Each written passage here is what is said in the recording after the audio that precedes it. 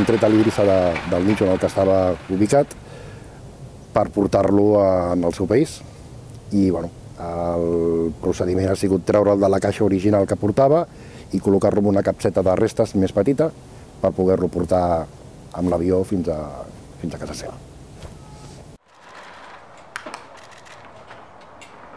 En el cas de l'Idrissa Diallo, eh, vam tindre la sort de que tenia documentació i estava identificat per poder-lo localitzar.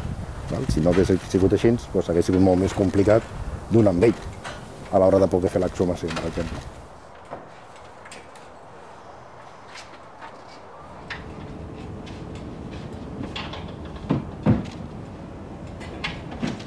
Bàsicament es produeixen quan, quan la família reclama el cos, com el cas d'ell, i quan la família es desentén d'aquest difunt. Llavors, eh, en qualsevol dels dos casos, un té una mica més de sentit, perquè torna a estar amb l'entorn familiar una altra vegada ubicat en, en un espai que la família de, desitja, i a l'altre perquè la gent es desprèn i es desentén totalment de, de, de la pèrdua d'aquest familiar.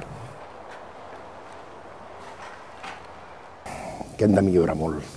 La meva opinió és que amb aquestes coses s'ha de millorar molt, en tots els aspectes, eh? tant amb la part humana com la part social. No? Considero que, que hi ha massa eh, marge de maniobra perquè la gent no dongui un pas endavant a arreglar aquestes coses.